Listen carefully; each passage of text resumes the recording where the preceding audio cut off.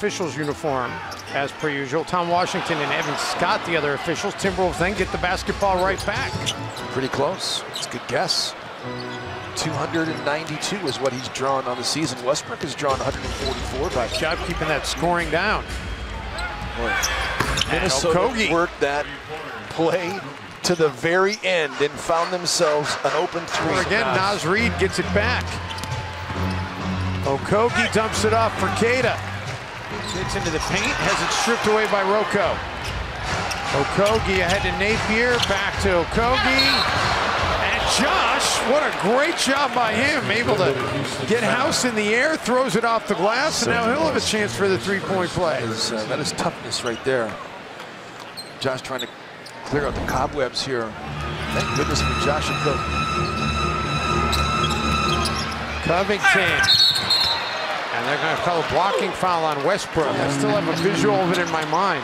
I was thinking So, about I mean, I would. I, it's, there's no wonder they're confused because you just never, as Gorgui knocks down another triple, Yeah, have their 30s in the NBA bench score. Ooh, Josh Okogie throws that one through. Okogie. Gordon's going to get called for a foul as he knocked into Jeff T. Did a whistle in terms of a foul. Okogie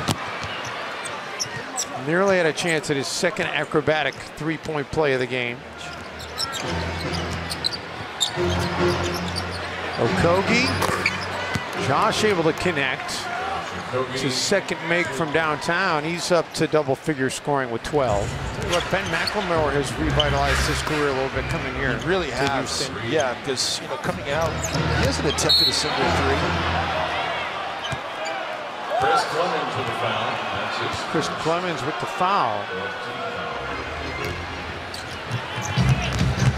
Okogie. Josh has played a heck of a game. You know, he's, he's never given in and never quit. He's, smart. He can figure it out.